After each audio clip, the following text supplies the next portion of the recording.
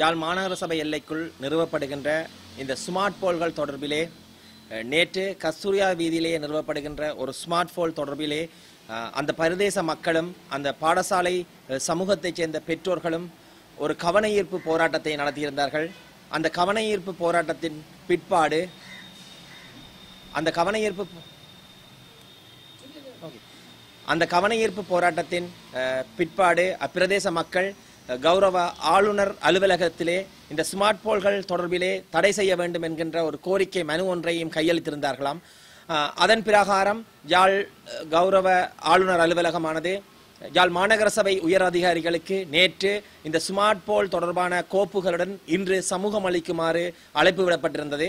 அந்த வகையிலே இன்று சமூகம் அளித்த யாழ் மாநகர சபை உயர் அதிகாரிகளுக்கு அடுத்து வரும் பத்து நாட்களுக்கு இந்த ஸ்மார்ட் லேம்ப் போல்களை பணிகளை இடைநிறுத்துமாறு உத்தரவிட்டதுடன் இது தொடர்பில் கௌரவ ஆளுநர் அலுவலகம் ஒரு டெக்னாலஜி இவாலுவேஷன் கமிட்டி அதாவது தொழில்நுட்ப மதிப்பீட்டு குழு ஒன்றை நியமிப்ப இருப்பதாகவும் அந்த குழுவிலே வைத்தியர்கள் கலாநிதி பெற்றம் பெற்ற இலத்திரணியல் பொறியியலாளர்கள் ஆகிய ஆகியோரை உள்ளடக்கியதாக அந்த குழு அமைக்கப்படும் என்றும் அந்த குழுவானது குழுவினது மதிப்பீட்டு அறிக்கை மற்றும் அந்த குழு மக்களுடைய அபிப்பிராயங்கள் ஆகியவற்றை தொடர்ந்து பின்னர் இந்த ஸ்மார்ட் போல்கள் யாழ் மாநகர சபை எல்லைக்குள்ளே நிறுவது தொடர்பில் முடிவெடுப்பதாகவும் இன்று அறிவிக்கப்பட்டிருந்தது.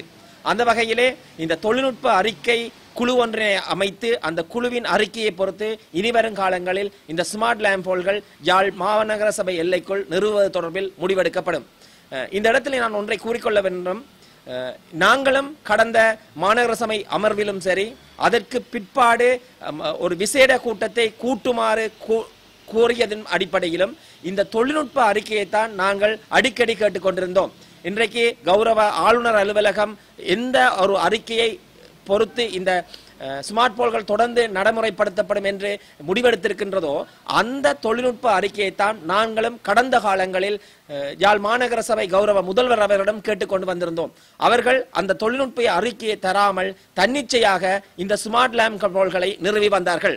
ஆக இப்பொழுது முடிவு எவ்வாறு வந்திருக்கின்ற சொன்னால் யாழ் மாநகர சபையிலே பேச எங்களுடன் பேசி இந்த தொழில்நுட்ப அறிக்கையை எங்களிடம் வழங்கி எங்களுடன் பேசி தீர்க்க வேண்டிய ஒரு விடயத்தை யாழ் மாநகர சபைக்கு இருக்கின்ற ஒரு சிறு அதிகாரங்களை கூட மத்திய அரசாங்கத்துடன் கையளிக்கின்ற ஒரு வேலை திட்டம் தான் இன்று நடைபெற்றுக் கொண்டிருக்கிறது. உண்மையிலேயே இந்த தொழில்நுட்ப அறிக்கையை எங்களிடம் கையளித்திருந்தால் நாங்கள் கேட்டது போல் இல்லாட்டி விசேட கூட்டத்தை நாங்கள் கூட்டச் சொன்னது போல் கூட்டி இந்த தொழில்நுட்ப அறிக்கையை எங்களுக்கு சமர்ப்பித்திருந்தால் இன்றைக்கு யாழ் மாநகர சபையிலே இருக்கின்ற அதிகாரங்களை மத்திய அரசாங்கத்திடம் கையளிக்க வேண்டிய ஒரு துர்ப்பாக்கிய நிலை ஏற்பட்டிருக்கின்றது. இன்று கௌரவ ஆளுநர் அவர்கள் இந்த தொழில்நுட்ப நாங்கள் கோரிய தொழில்நுட்ப அறிக்கையை தான் தா- ஒரு மதிப்பீட்டு குழு ஒன்றை வைத்து தாங்கள் தருவதாக தருவதாகவும் அதன் பின்பாடு இந்த செயற்பாடுகள் நடைபெறும் என்று ஒரு ஒரு ஒரு உறுதிப்பாட்டுடன் தான் இந்த ஸ்மார்ட் போல்கள் லேம்ப்கள் நிறுத்தப்பட்டிருக்கிறது ஆக வகையிலே எங்க நாங்கள் கூறிய ஸ்மார்ட் லேம்ப் போல்கள் தொடர்பான இந்த தொழில்நுட்ப அறிக்கையை தந்திருந்தால் இந்த பிரச்சனை இவ்வளவு விஸ்வரூபம் எடுத்திருக்க வேண்டாம் முடியாது.